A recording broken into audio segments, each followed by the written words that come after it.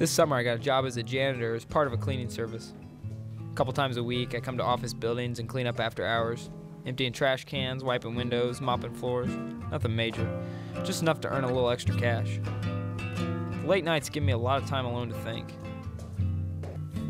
Every now and then, I come across a couple of employees just putting in a little overtime. No one really takes much notice of a janitor, and no one really cares, but it gives me an opportunity to see people when no one else is around, to see people for who they truly are.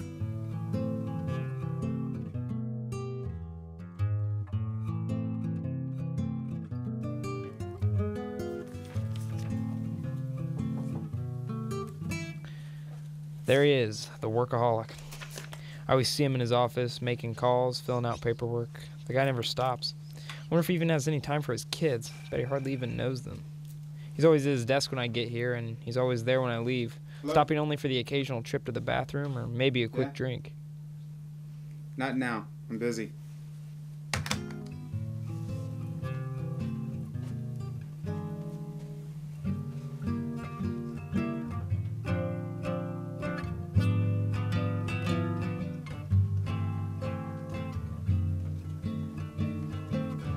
See the guy in the glasses a lot. You can tell he's trying to make his way to the top, but as the young guy, they're always sending him out for coffee.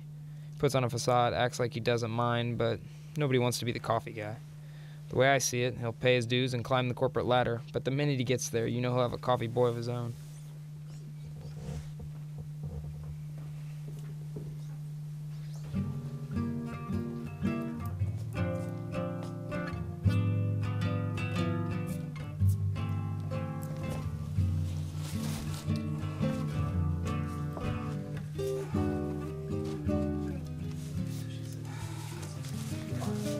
These people.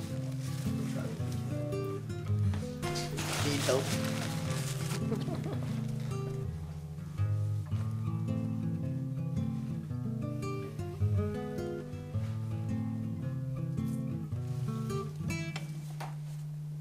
I have a feeling that I'm the only one that really knows this guy. He's sharp.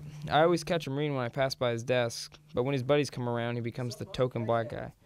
Nothing much. Catch a game last night? Oh yeah, came down to fadeaway, I believe. Yeah, something like that. Hey, boss want to let you know if they got those TPS reports. I'm gonna get back to you on that next time. Sounds good. I'll catch you later. Yep. On the flip. I guess it's easier for him to fit in as a stereotype. Everybody likes him for who he isn't. He's afraid nobody will like him for who he is.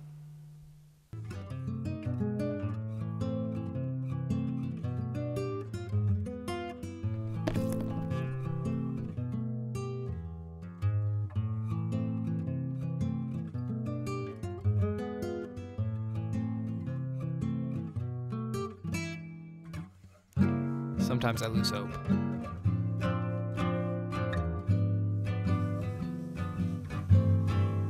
I feel people only care for themselves.